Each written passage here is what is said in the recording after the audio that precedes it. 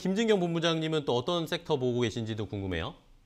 네, 제가 이제 바라보고 있는 섹터는 여전히 조선주에 대한 관심은 좀 어, 필요하지 조선주요? 않을까라고 네, 생각이 들고 있습니다. 네. 아마 작년 하반기부터 계속적으로 어, 시장에서 주목이 되었던 업종 중에 하나였고 올해도 그렇죠. 마찬가지로 또 이 터널을 지나면서 새롭게 또 빛을 보고 있는 업종 중에 하나라고 보시면 되실 것 같은데요. 이 작년부터 조선 업황이 회복이 좀 이어지고 있기 때문에 올해도 마찬가지로 이런 흐름은 이어지지 않을까라고 생각을 하고 있습니다. 워낙에 사실 조선주의 핵심의 경우는 바로 이 수주가 관건이 될 것 같은데 어, 빠르게 수주 회복이 또 이루어지고 있는 상황이고 또 전 세계적으로 산업사업의 발주에도 증가세를 보여지고 있습니다. 우리나라 이제 빅3라고 하는 이제 조선사들이 이제 수주액이 총 약 14조 원가량 어, 올해도 달성했다라고 하는데요. 아무래도 올해 1분기 수주량만 놓고 따져봤을 때는 작년에 비해서 무려 10배가량 좀 달하는 기록을 세우기도 했었고 지금 우리나라 조선업계가 이렇게 전 세계적으로 독보적인 1위를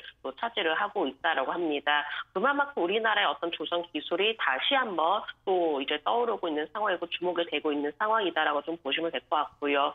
또한 수에즈 운하 사태로 인해서 더욱더 우리나라 조선 기술에 대해서 또 전 세계적으로 이목이 집중이 되고 있는 상황이기 때문에 앞으로도 어떤 수주에 대해서 기대가 되고 있는 부분이고 또 차기 수주 프로젝트도 충분히 남아 있습니다. 음. 뭐 LNG 운반선과 관련해서 뭐 러시아라든지 카타르에서 좀 대규모 발주 기대감도 남아 있는 상황인데 월등하게 우리나라가 또 기술력을 좀 가지고 있는 분야이기 때문에 오히려 올해의 경우는 이런 조선주에 한 단계 더 도약을 할 수 있는 또 한 해가 되지 않을까라고 생각되기 때문에 네. 오히려 조선주들의 경우는 지금도 충분히 좀 지켜보자라고 좀 말씀을 드려야 될 것 같습니다. 네. 자, 그렇다면 조선주 어떤 종목 좀 더 보고 계세요?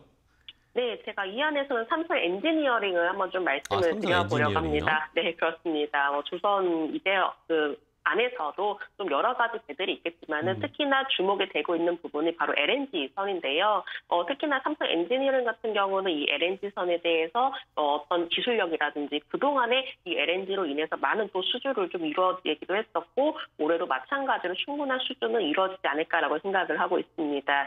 지난해 말부터 계속적으로 수주가 좀 이어지고 있고요. 최근 들어서 이렇게 중동 쪽에도 수주가 좀 나아지고 있는 상황인데 그 최근에 사우디아라비아에서도 대형 플랜트 수주가 이루어지고 있습니다. 특히나 LNG 플랜트 수주가 확대가 되고 있기 때문에 이 LNG 부분에 대해서도 충분한 강한 경쟁력을 갖추고 있어서 이런 중동 시장 속에서도 음. 충분히 확대를 해 나가지 않을까라고 생각을 하고 있고요. 사실 LNG 선도 이제 친환경 LNG 선이 어, 음. 주목이 되고 있는 것 같습니다. 어, 앞서 또 친환경 얘기가 나왔기 때문에 이 LNG 친환경에 대해서도 좀 주목이 되고 있는데 어떤 좀 신재생 에너지에 대한 보고 확대가 이루어지고 있는 상황에서 액화 천연가스 바로 이 LNG 수요가 증가를 하고 있다라고 합니다. 네. 그렇기 때문에 이 삼성 엔지니어링만이 가지고 있는 기술력을 다시 한번 또 지켜보자라고 좀 말씀을 드리면서 네. 또한 작년 코로나로 인한 기저 효과도 충분히 기대가 되고 있기 때문에 제가 오늘 조선주 안에서도 삼성 엔지니어링을 좀 말씀을 드려보도록 하겠습니다. 네, 감사합니다. 삼성 엔지니어링을 알려주셨고, 그럼 이재규 대표님께도 마지막으로 여쭤보겠는데 유튜브에도 지금 셀리님이 조선주 이제 좀 가야 되는데 라고 하시면서 아마 가지고 계신 분일 수도 있을 것 같은데 아, 조선주 올라갈까요? 어떻게 보세요? 네, 저도 말씀하신 것처럼 뭐 삼성 엔지니어링이나 뭐 한국 조선해양의 주가 흐름이 긍정적으로 이어질 거라고 보고 있습니다. 네, 우리나라 조선 기업들이 그 중국이나 여러 경쟁 국가들에 비해서 기술력이 월등히 뛰어나기 때문에 고부가 가치의 선박에 대한 수주 물량이 많아지고 있어요. 있습니다. 그렇기 때문에 조선주 관련주들은 계속해서 올해 내내 긍정적인 이슈가 있을 거라고 보고 있습니다. 네, 감사합니다.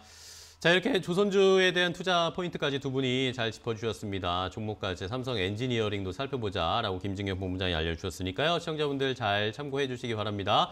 자, 오늘 클럽하우스 대화 함께 나눠주셔서 감사해요. 두 분 다음 시간에 또 뵙도록 하겠습니다. 고맙습니다. 네, 감사합니다. 감사합니다. 네, 고맙습니다.